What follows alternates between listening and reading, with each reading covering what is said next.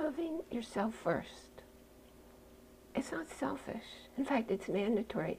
And in fact, if you don't put yourself first, the universe will force you to put yourself first. And it does it in a couple of different ways.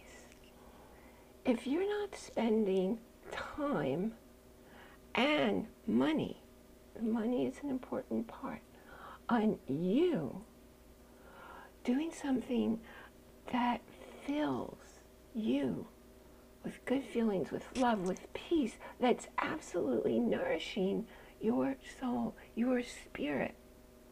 If you don't spend the time and the money to do that, you will find yourself with unexpected expenses.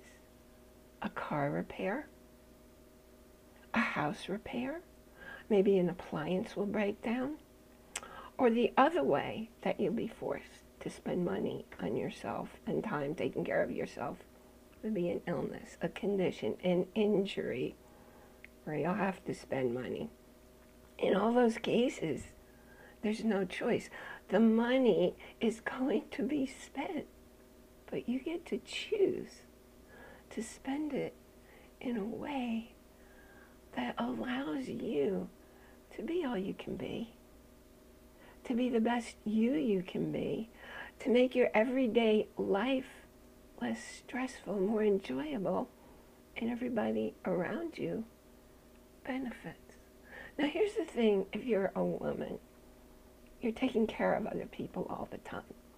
So when I say loving yourself, first spend money on something that makes you happy, I'm not talking about going out there and buying things for other people, doing favors for other people. It's something for you. And remember, if you have daughters, well, you're always going to be the role model. They're going to grow up teaching others to treat them the way you're teaching others to treat you.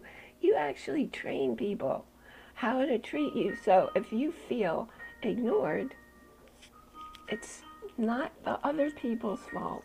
It's you and what you're doing. So, what are you going to do today? Go out. Figure it out first. Schedule it, but not schedule it. Not I'm going to do it. Not I will do it. Do it. Get it on your calendar with a reservation, with a purchase today. Now, you haven't seen me around a lot lately because the universe decided I wasn't spending money on myself.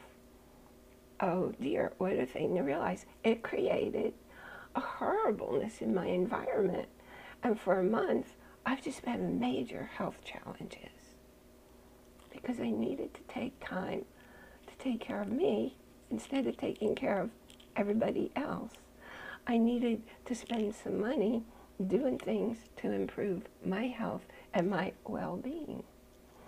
So I'm happy to say I found a bunch of new book groups and I'm going to them and I've read like six books in the last couple weeks and meeting lots of new people and I got some new air filters because there was just no way to reclaim my air filters after they cleaned my environment. They were gone. They were wasted.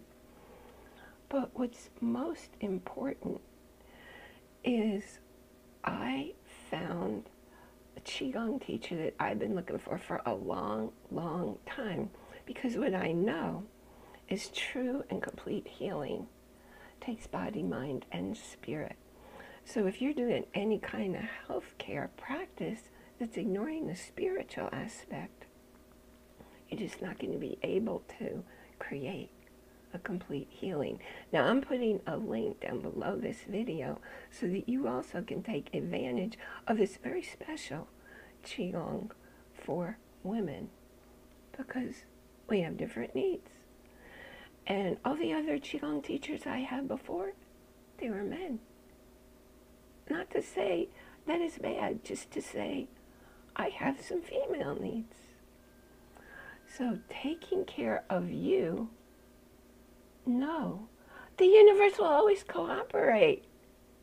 I've been looking for months for this person, and by giving me the attention of causing the environmental stress and health challenge, health project, I finally found the teacher came to me. I didn't have to look. And that's what you'll always find. What you're looking for. You put it out to the universe, and the universe delivers it 100% of the time. 100% of the time. I'm Ali Bierman. I'm really glad you came by today. Glad that you're choosing to take care of you and you can find me at yourrelationshipintelligence.com. 看。